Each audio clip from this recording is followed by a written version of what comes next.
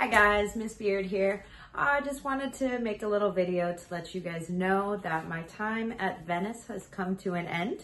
Uh, unfortunately, I cannot say bye to you guys in person, but I just wanted to thank you for having me and thank you for a great semester.